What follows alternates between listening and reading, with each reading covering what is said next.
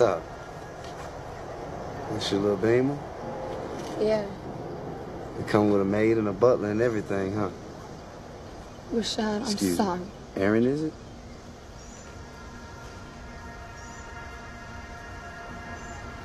I don't know this person right here. I bet you had a nice little laugh about this, huh? Give me back my necklace. No. Give me my damn necklace back. Why should I? Cause it's mine.